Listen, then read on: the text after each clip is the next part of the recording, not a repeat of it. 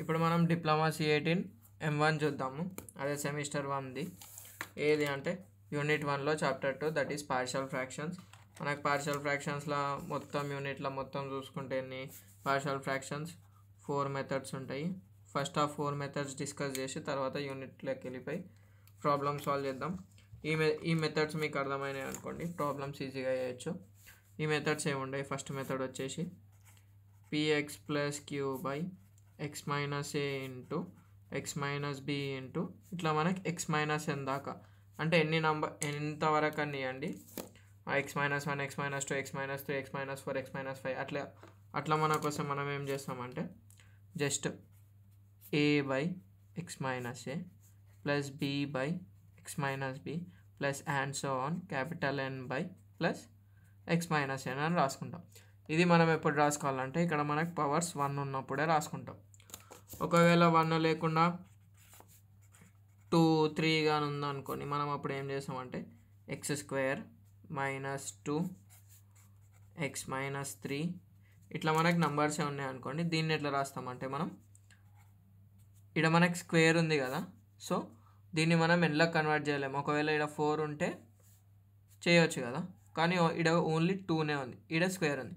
A X plus B by X square by two X square minus two plus ఇక్కడ మనకి X minus three అంటే first method C by X minus three అని రాసుకుంటాం.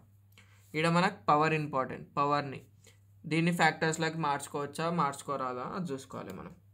దాని తర్వాత third method ఏముంటుంది అంటే పిఎక్స్ ప్లస్ క్యూ బై ఇక్కడ మనకు లోపల స్క్వేర్ ఉంది కదా. ఇప్పుడు ఎక్ బయట స్క్వేర్ ఉంటుంది ఇట్లున్నప్పుడు మనం ఏం చేస్తామంటే దీనికి సబ్స్టిట్యూషన్ ఏంటంటే బయట ఉంది కదా. ఆల్రెడీ ఇది ఎట్లా A minus B whole square ఉంది. అంటే దీని X minus two into X minus two అని రాసుకుంటాం కదా.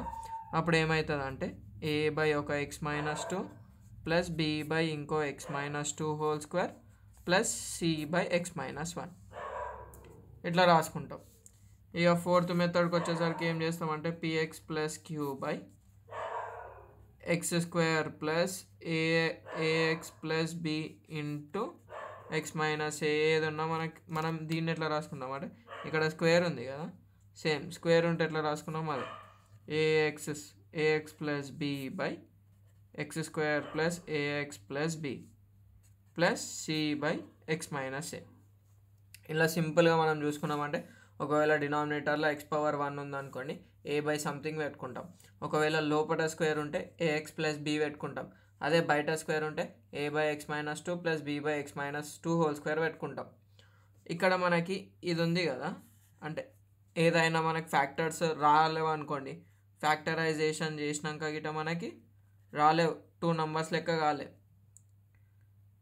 ఫ్యాక్టరైజేషన్ చేసినాక గిట మనకి X plus A into X plus B రాలేవు. రాకపోతే ఈ మెథడ్కి వస్తాం. ఒకవేళ వస్తే మళ్ళీ ఫస్ట్ మెథడ్కే వస్తాం. ఇదే మొత్తం యూనిట్లో ఉంటుంది. కొన్ని ఇంపార్టెంట్ సమ్స్ చూసేసుకుందాం అయిపోతుంది